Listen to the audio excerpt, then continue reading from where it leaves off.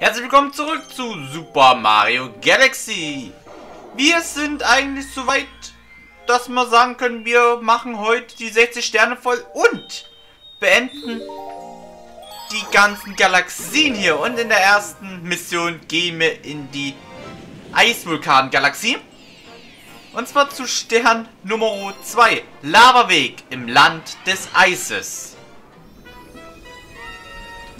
Das ist der zweite Stern, den wir machen müssen. Oder machen können. Wir haben ja sonst Komet jetzt hier gemacht und ähm, andere Sachen. Und jetzt müssen wir jetzt erstmal auf den ersten Lavaweg.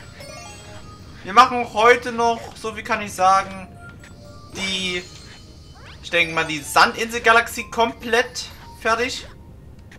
Und werden, denke ich, auch heute schon zum Boss gehen des, dieses, ähm, dieses Bereichs, dieser Kuppel. So, da hinten ist das letzte Teil, was wir brauchen. Wir müssen jetzt eigentlich übrigens nur fünf Splitter sammeln. Und mehr nicht. Hier sammle ich noch alles ein, was geht. Und werde mich jetzt da... Ah, shit. Hat leider nicht so funktioniert, wie ich dachte. Und jetzt hat es funktioniert. Man könnte auch die Greifsterne nutzen, aber wenn es natürlich schneller geht, kann man das auch schneller machen. So, hier würde ich euch jetzt eigentlich gerne einen Trick präsentieren.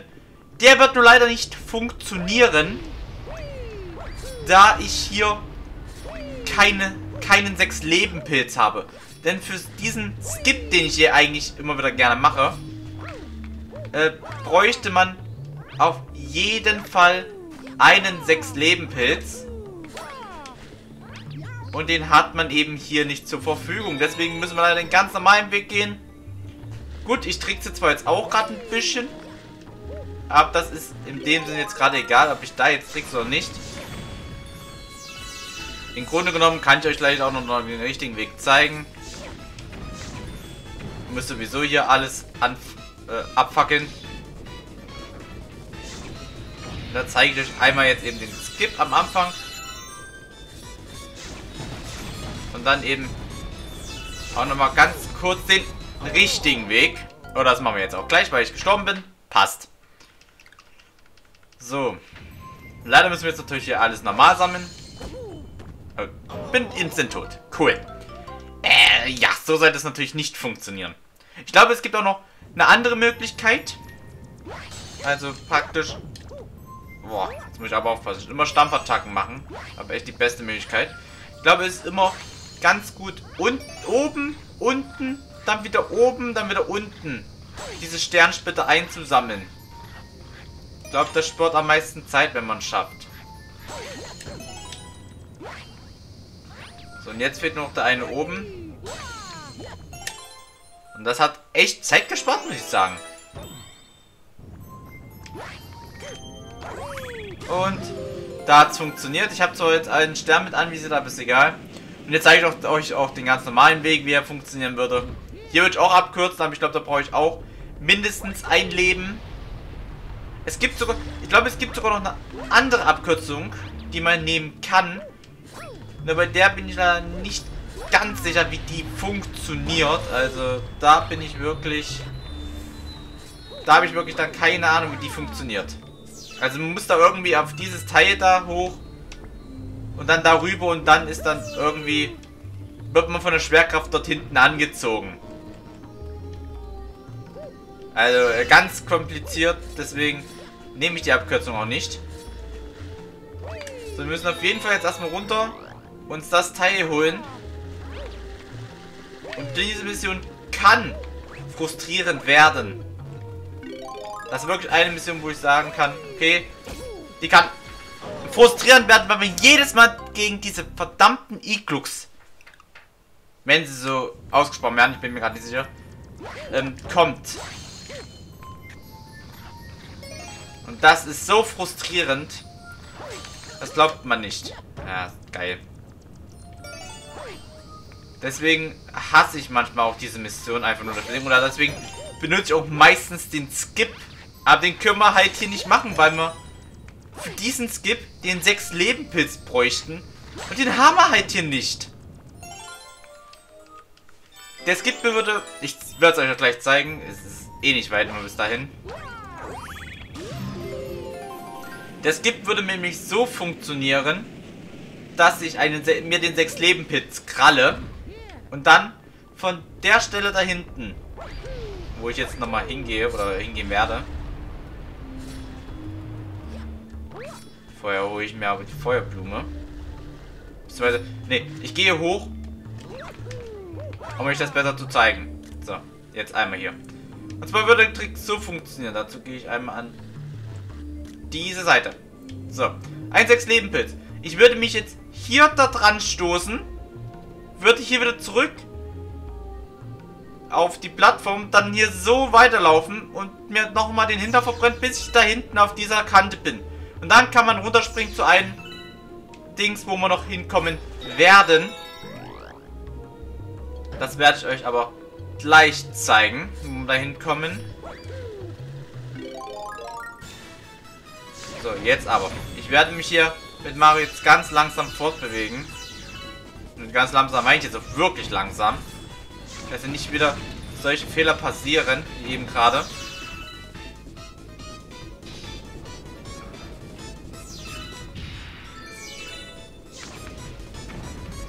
Ah shit. Noch einmal kann ich schießen. Damit habe ich den da hinten schon mal getroffen. Der ist schon mal weg.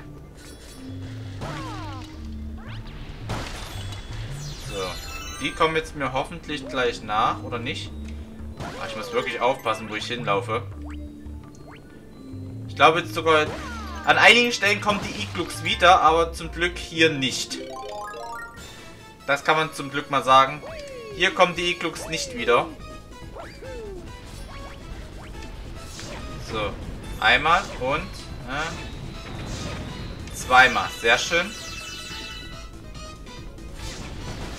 würde den jetzt noch perfekt weghauen und dann haben wir's.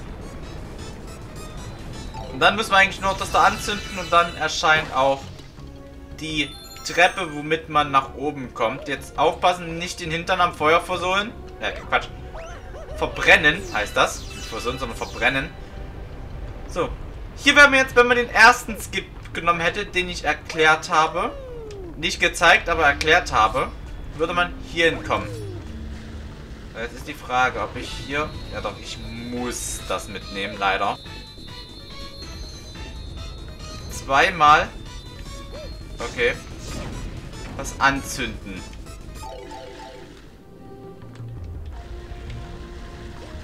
So, dazu muss ich halt jetzt auch zweimal die Feuerblume nehmen, dass ich da hinkomme. So, jetzt haben wir aber. Zweimal ist angezündet. Das Tor geht auf. Oder beziehungsweise geht hoch. Und wir können mit gekonnten Wandsprüngen hier abkürzen. So, was ist hier als nächstes? Äh, normaler Weg. Gut. Okay.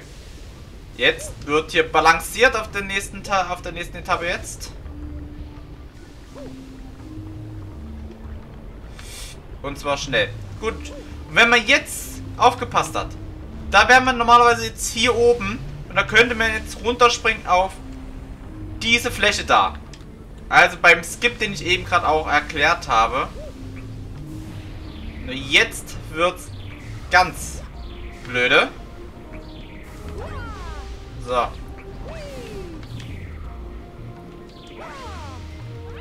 Am besten ist jetzt natürlich, wenn man diesen Teilen den Gnadenstoß gibt, dass die nicht wieder erscheinen. Nur leider ist das nicht immer möglich, wie man sehen kann gerade. Am besten hier auch noch den Gnadenstoß geben.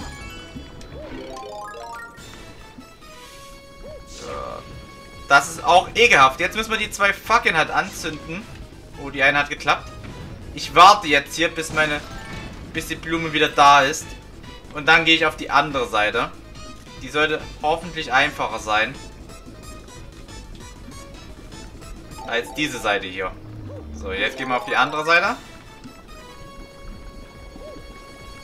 So, kann ich eigentlich schon von hier das machen? Nee, leider nicht. Schade. scheiße. Okay, aber ich hoffe... Komm, komm, komm, komm! Nein. Schade. So, aber wir töten jetzt erstmal diesen Dude. Dann haben wir hier auf jeden Fall freie Bahn. Ah, das zu treffen ist halt wirklich mies. Das muss man einfach auch mal sagen. So, jetzt ist halt die Frage, wie treffe ich das am besten? Passt das? Nee. So. Ja, jetzt hat's gepasst. Okay. Wir lassen die Feuerblume auslaufen. Und dann holen wir uns unseren Stern. Ah, soll ich den mit... Ne, ich hole ihn nicht mit dem Long Jump. Ich gehe auf das Teil und hole ihn mit dem Teil. Und dann haben wir den ersten Stern. Gut. Ersten Stern des Parts. Hammer.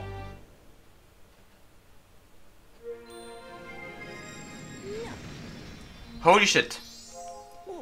So. Dann würde ich erst mal sagen, gehen wir zur, ja, zur Sandinselgalaxie für einen Stern. Wir machen das jetzt abwechselnd. Sandinselgalaxie. Stern Nummer 2. Ich weiß auch, was das ist. Das ist auch so eine Art Wettrennen. Halt nur nicht mit einem Item. Jenseits des endlosen Treibsands, diese Mission haben wir ja schon mal gelesen. Wir haben uns aber dann für den geheimen Stern entschieden. Dass wir ihn mal, dass wir den geheimen Stern machen. Und jetzt machen wir aber wirklich den endlosen Treibsand. Dazu hauen wir alles weg, was hier ist.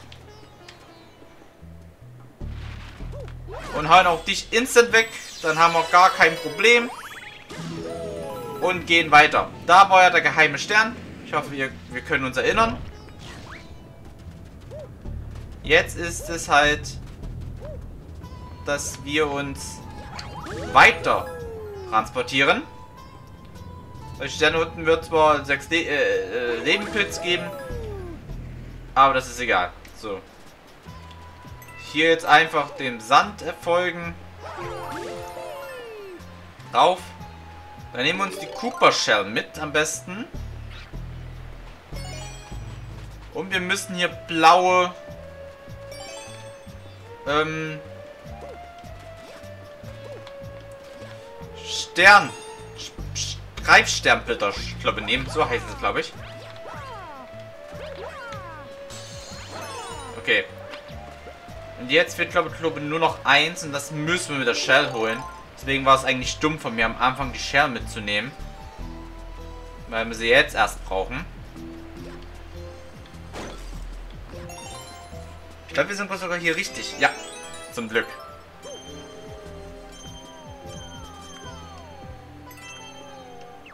So. Jetzt weiß ich noch nicht, ob es nach links oder nach rechts geht, aber ich glaube, ich muss den orangenen Pfeil folgen. Ja, genau. Der orangene Pfeil, dann geht es zum Greifstern. Oder nicht zum Greifstern, aber zum Sternring. Der, wo der grüne Pfeil hin zeigt, keine Ahnung. Ich habe das nie ausprobiert, deswegen weiß ich das nicht. So, und jetzt sind wir eigentlich schon am Stern angekommen, sozusagen. Wir müssen jetzt hier nur noch aufpassen, was wir machen. Das heißt, wir holen uns hier ein One-Up, holen uns hier das und gehen jetzt immer weiter. Sozusagen gehen wir jetzt die erste Strecke ab. So, übrigens nicht in den Treibsand fallen, der ist ähm, gefährlich, der Treibsand hier. So. Und jetzt beginnt, eigentlich ab hier beginnt so ungefähr das Wettrennen, kann man sagen, danach. Wir müssen jetzt nämlich einmal hier zurück, also einmal hier hin, runter, aufpassen, nicht von den Tornados erwischen lassen. Und müssen jetzt eigentlich hierher. So. Dann am besten so positionieren, wie es geht. Das hier runterstampfen und dann äh, so schnell wie möglich wieder zurück. Denn da hinten ist das Teil mich erschienen auf der anderen Seite. Und das müssen wir uns jetzt holen, um zum Stern zu kommen. Und das hat wunderbar funktioniert. Sehr schön. Damit haben wir diesen Stern uns geholt.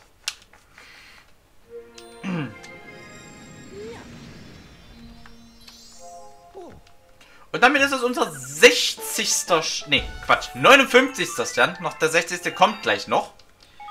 Mit der nächsten Miss Mission in der Eisvulkan-Galaxie. Wie weit sagt, wir holen wieder 5 Sterne heute. Und die Eisvulkan-Galaxie bringt uns den heutigen dritten Stern rein. Und eigentlich haben wir die Mission ja schon mal gemacht. Das muss man erstmal sagen. Wir haben die Mission eigentlich schon gemacht.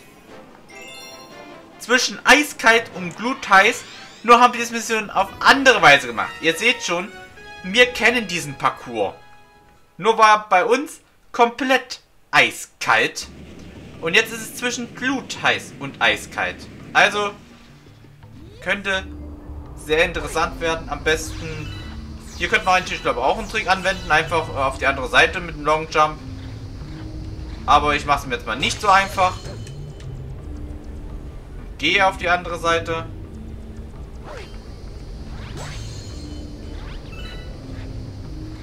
So. Einfach nicht so einfach machen und jetzt hier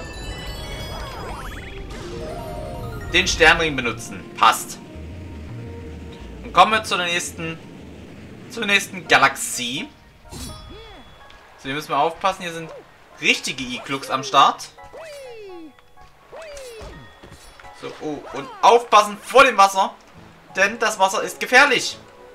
Es ist nämlich Eiswasser. Sollten wir zu lange im Eiswasser sein, ist das schlecht für uns, denn dann werden wir, glaube erfrieren in diesem Sinne. Deswegen vorsichtig sein mit dem Eiswasser.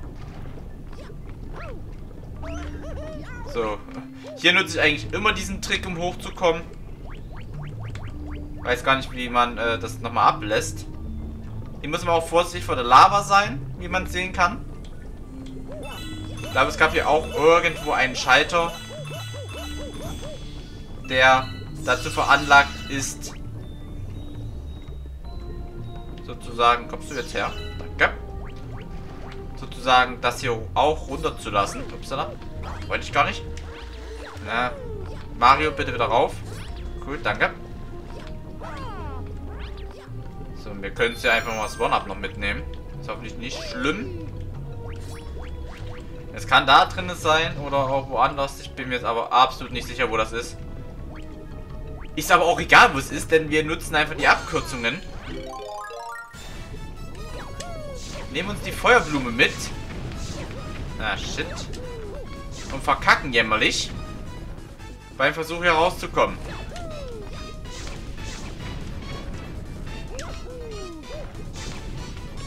Naja, okay. Das war jetzt vielleicht etwas dumm von mir gemacht. Ich gebe, das gebe ich zu. Aber jetzt haben wir's. Da müssen wir jetzt nur noch rüber auf die andere Seite. Ja, natürlich habe ich jetzt Eiswasseralarm. Und jetzt müssen wir eigentlich nur noch beide Fackeln anzünden und dann erscheint der Sternring und wir können weg hier. Und dann sind wir schon an dem Ort, wo wir schon mal waren. Nur jetzt in sozusagen fieser. Weil es jetzt eben nicht nur noch glutheiß ist, sondern auch noch verdammt, verdammt, äh, nee, Quatsch. Nicht nur, weil es nicht mehr äh, eiskalt ist, sondern auch noch warm. Brauchen wir jetzt nämlich diese wunderschöne Eisblume, um hier durchzukommen. Ja, und das hat wunderbar funktioniert. Ich hasse das manchmal. Ja, ja. Ach komm. Ich darf das Ganze. Ja, okay. Ich mache das Ganze nochmal kurz bis dahin. Jetzt zeige ich aber kurz die Abkürzung. Die sehr knapp ist. aber so geht das hier und wir sehen uns gleich im, auf dem finalen Planeten nochmal wieder. So, wieder zurück auf den Planeten. Und äh, wir versuchen das jetzt noch ein zweites Mal.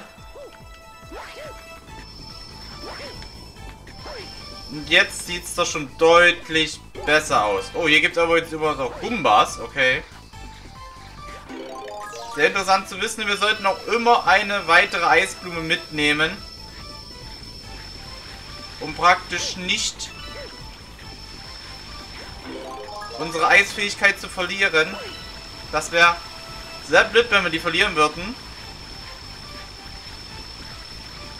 Aber ich bin guter Ding, dass wir es geschafft haben. Sehr schön. Damit ist der vierte Stern hier. Nee, Quatsch, der dritte. Und damit müsste auch die Eisvulkan-Galaxie beendet sein. Hoffe ich zumindest. Hat mich jetzt vor Anläufe gebraucht, aber egal. Passt schon. Zwischen eiskalt und glutheiß. Das war's also. Die Mission. Und jetzt geht's noch zur letzten Sandinsel-Galaxie-Mission. Und ich glaube, wir haben sogar 60 Sterne jetzt insgesamt. Ja, Hammer. Sandinsel-Galaxie fehlt uns noch ein Stern und eine Kometen fällt mir gerade mal so auf. Oh. Okay. Komet fehlt also noch. Die Riesenfalle in der Wüste ist jetzt aber erstmal dran. Und das ist sie. Die Riesenfalle.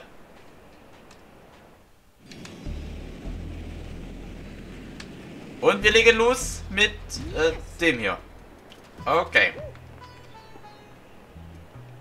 So, kann man eigentlich auch so hoch? Ne, kann man nicht. Schade. Egal.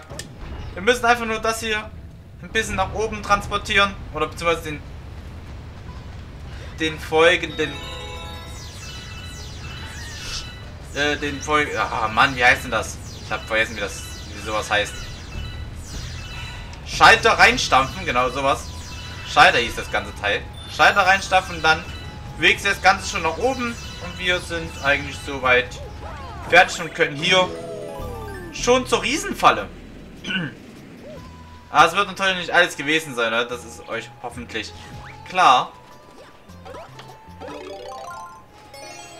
Dass das höchstwahrscheinlich nicht alles war.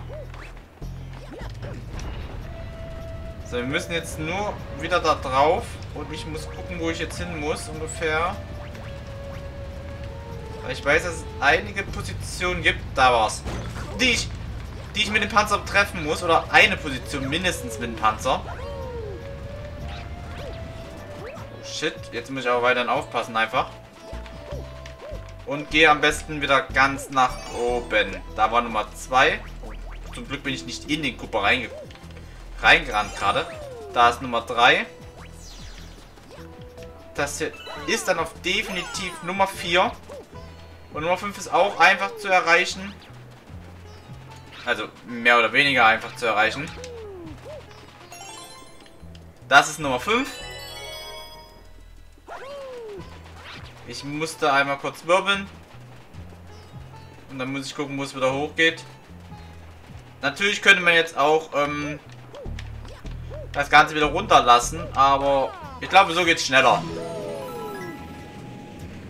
Und dann sind wir auf einen anderen Planeten, die nicht zu der Riesenfalle zählt. Oh, ich muss aufpassen hier. Ganz wichtig aufpassen. Da haben wir das schon befreit. Und dann geht schon weiter. Auf den nächsten Planeten, der hier ist. Aha, okay. Und dazu müssen wir jetzt, sofern ich noch weiß, runter Kokosnüsse. Ups. Oh, hat ja wunderbar funktioniert. Kokosnüsse hochschleudern. Wenn das dann mal funktioniert, eine reicht vollkommen aus. Dann diese Kokosnuss. Nur noch dahinter schleudern. Was überhaupt nicht funktioniert hat. Wo sind die jetzt hin? Kokosnuss? Ach da, okay. So, man kann es aber mit Kicks kurz in Position bringen. Dann hat man das getroffen und dann einmal draufspringen reicht. Da erscheint der Sternenring. Und dann geht es für uns immer noch nicht. Doch zur Riesenfalle schon. Aber wir müssen trotzdem aufpassen. Deswegen habe ich zur Sicherheit hier noch unten eine Stammvertage jetzt gemacht. Wir müssen auf jeden Fall jetzt richtig aufpassen. Denn wenn wir, sobald wir in der Riesenfalle drinne sind, gibt es für uns praktisch kein Entkommen mehr. Das werdet ihr jetzt auch gleich sehen. Da ist die Röhre. Die bringt uns rein. Und jetzt... Ab jetzt müssen wir uns sozusagen einfach beeilen. Weil die Riesenfalle nämlich untergeht. Oh shit. Als ob ich das nicht schaffe. Okay. Jetzt habe ich vielleicht auch schon verkackt. Ich weiß es noch nicht. Ah, jetzt definitiv schon verkackt, ey. Schiete.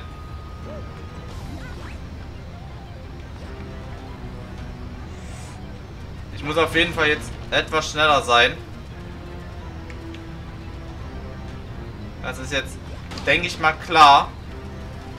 Oh shit. Damit halt jetzt absolut nicht zerquetschen lassen. Und dann haben wir es doch geschafft. Okay. Sehr gut. Damit haben wir den Stern. Und sind hier durch in der Riesenfalle. Zum Glück. Damit haben wir den vierten Stern der Folge. Und wir machen jetzt noch den Bossfight. So, zack. Speichern. Sollte jetzt hier nicht der Komet erscheinen, und das tut er nicht. Warte. Hier fehlt noch ein geheimer Stern?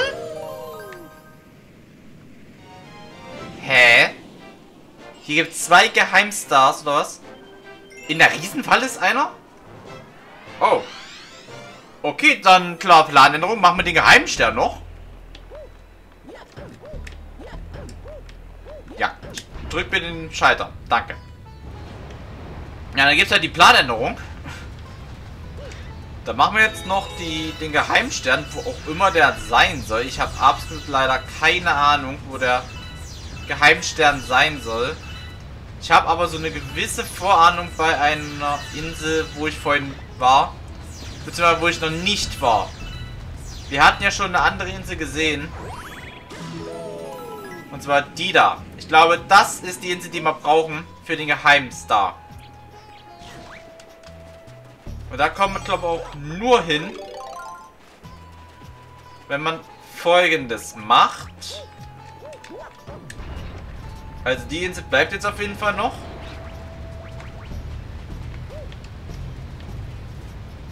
So viel kann ich sagen. Die Insel bleibt jetzt so, wie sie ist.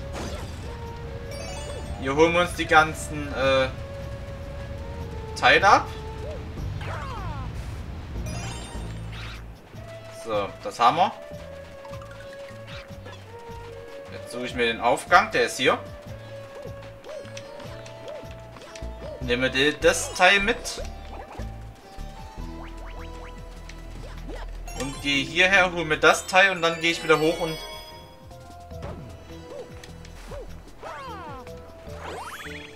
Und gehe dadurch. So. Jetzt kommt, glaube ich, zu dem Planeten. Genau, dem hier. Wo ich glaube, dass ich das Teil verpasst habe. Und zwar, das da reinzustampfen. Ja. Okay. Und jetzt ist auch für mich klar, was ich hier machen muss einfach mal alles folgen, die Musikteile mitnehmen und dann in diesen Sternring und dann kommen wir nochmal zu einem zweiten geheimen Stern. Okay, war mir in dem Moment gerade nicht bewusst. Ich dachte, es gibt nur einen geheimen Stern, gibt es aber leider nicht. So. Wir müssen jetzt warten, bis das hier schießt. Und den Kugel wieder auf uns lenken. Und jetzt praktisch den Kugelwilli erstmal so weit lenken, bis das hier ausgefahren ist. Und ich sehe den Stern. Und den sollten wir jetzt bestmöglich hier auf diesen Stern lenken, dass er ihn befreit.